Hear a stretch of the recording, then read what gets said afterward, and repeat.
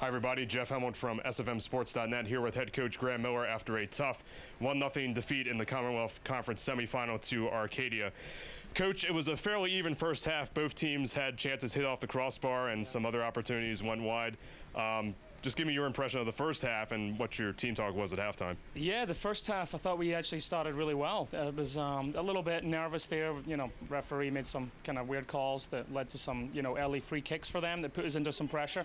But once we kind of weathered that storm, um, I thought we were really all over them. And you know, Lexi's shot, but they had a shot as well off the bar, but um, you know, real close. But I thought first half I thought we controlled the tempo after the first 10 minutes, and um, I was pretty pleased with how they played. I was really happy, and I think it was eight shots to four in the first half, and um, so we just talked at halftime about keeping it going, keeping the momentum going, because the way we finished, especially the last five minutes of the first half, they couldn't get out of their half, and um, so we had them, and I, I, thought we had them on the ropes.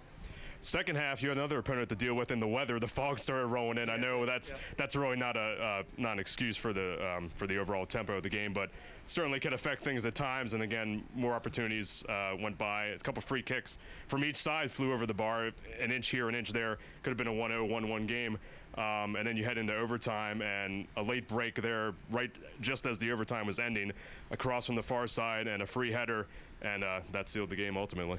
Yeah, I mean, I thought you know second half. I mean, it was pretty even. I thought each team actually was like you know they would have a free kick, we would have a free kick. Right. They got a yellow card, we got a yellow card. You know, everything was very similar, um, and and it was going to be tough to see which team was going to come out you know the winner. Um, you know, either team I thought played great. I thought Arcadia really did well, um, especially they came back in the second half. But I thought we still controlled the game, and, and then they just upped it in overtime. We just, you know, we didn't get out our own half in overtime, and, and that was tough. And, and when you, you know, they, they got us on a quick break at the end. So really proud of the girls, really proud of the seniors, uh, you know, for what they've done on and off the field. This is our, you know, first final that we haven't made in four years. So we're pretty proud of this program, and, and, and the girls are going to come back stronger. They'll be ready to go again next year. Yeah, I was going to mention that, um, as you mentioned, not another another chance to face Messiah. It didn't happen this year. Um, but just going back to the beginning of the year, uh, I know you told me earlier in the season you had those tough non-conference opponents. So it was a little slow. If you just looked at the record, it was a little. You could argue it was a little slow out of the gate. But once the conference schedule kicks in, you start 4-0 and you finish up, you know, 6 and 2, 6 and 3 now after this one. Um, once once you guys seem to hit the conference schedule, you seem to get it going. And again, another postseason performance, and again, just just unlucky at the end here. Yeah, yeah. Like I said, proud of the girls for how they came back. You know, we had a tough, you know, we had one of the toughest schedules in the region, um, non-conference, and you know, we didn't take advantage. You know, all you know, eight one-goal losses. So you know, when it came to the conference, we were ready for it, ready for the same teams we play every year, and the girls did really well. So you know, I'm proud of the effort this year. We didn't get the results the way you know we have in the past, and you know, like they are 15 seconds to go, and it's going to the second overtime. So we'll move on. We'll be stronger with a successful program, and we'll be ready for next year.